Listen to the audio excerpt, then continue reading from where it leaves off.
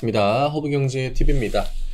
네, 기아고요. 어, 오늘 다시 한번 어제 그 시도했던 이 중앙의 가격이죠. 중단 라인을 돌파를 해줬고 고점을 뭐 거의 종가 부분에 맞춰놨는데 7,700원. 딱 중단입니다. 여기를 또 반으로 나눴을 때 중앙을 넘어오는 가격에다가 끝내놨기 때문에 이러면은 지금 몇 번 try죠? 한 번, 두 번, 세 번, 네 번, 다섯 번 여기서 다시 한번 도전하면은 여섯 번째 도전이 되는 거고 우리가 좀 체크를 해야 되는 건 시장은 충분히 조정을 좀 건강하게 어, 거쳤다라고 하는 거.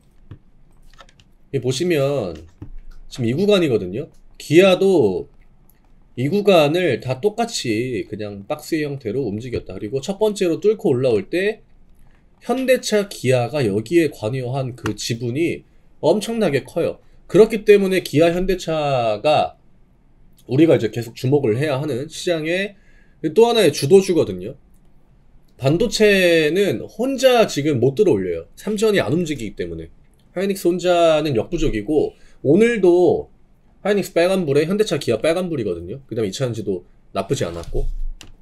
지금 여기서 전고점을 try 해주면은 제가 볼 때는 다시 한번 이때처럼 그 현대차랑 기아를 가지고 지수 라인을 끌어올릴 확률이 굉장히 높아 보입니다. 오늘 분봉을 봐도 오후장에 이거 올려준 거 이거 기아 현대차 달고 올려준 거거든요. 오늘 분봉 보시면 저 시간대입니다. 이 오후장.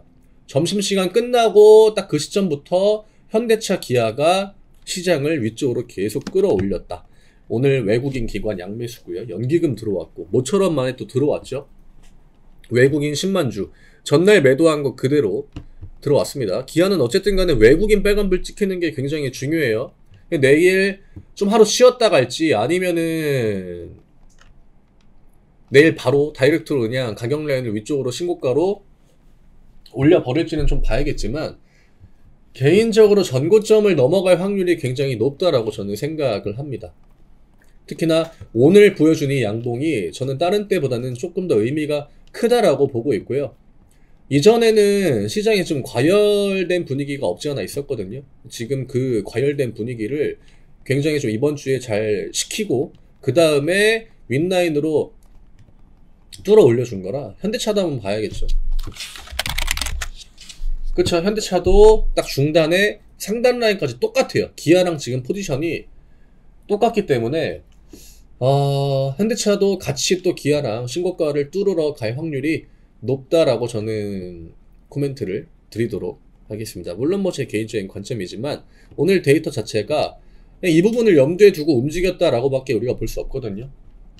그 다음에 뭐 이 역할을 대체할 만한 삼전이 빨리 좀 흐름을 찾아주면은 뭐 분산이 되겠지만 지금 그럴 분위기가 아니기 때문에 분산은 안 되고 아마 오늘과 같은 포지션 그 다음에 기아나 현대차 같은 그런 주도 이제 그룹주들이 쉴 때 그때 뭐 이차전지가 반등을 보여준다거나 요런 박자만 맞춰가면은 지금 이차전지를 어쨌든 코스닥이 끌고 가고 있기 때문에 좀 밸런스가 맞겠죠. 이전에는 코스닥이 너무 못 따라왔고 지금은 얼추 좀 따라온 상황이어가지고 어, 이차전지도 좀 순차적으로 올라가서 그 두 시장의 갭이죠. 갭을 좀 안 만들고 뚫어주는 게 가장 좋을 것 같긴 해요. 그래서 오늘 이 정도로 좀 핵심적인 부분들만 코멘트를 드렸는데 오늘 그냥 제 코멘트를 정리해드리면 아, 신고가를 뚫으러 갈 확률이 오늘 이 캔들로 인해서 더더욱 높아졌다. 이게 중간에 음봉 나오고 막 개파락 나오고 해도 이 구간 안 벗어났죠. 이때도 반라인 먹고 위쪽에 붙여줬기 때문에 전 여기에서 넘어갈 줄 알았는데 시장이 한 번 더 꺾었다.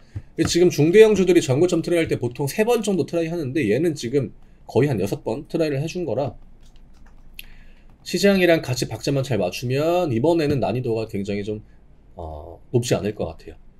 저희 카카오 채널 링크 영상 아래쪽에 남겨드립니다. 누르시고 무료 종목 신청 누르신 다음에 기아 남겨주시면 저희가 안내해드리는 무료 종목들 같이 매매할 수 있거든요. VIP 회원들 매매하는 종목 그대로 드리니까 오셔가지고 어, 저희 종목들로 단기 종목들 드리니까 수익도 챙기시고 기아는 지금 뭐 홀딩이죠. 뭐 굳이 오늘 패도 안 나왔는데 팔 필요가 있겠습니까? 조금 더 홀딩 유지하시면 될 것 같아요. 저는 내일 다시 또 인사드리겠습니다. 감사합니다.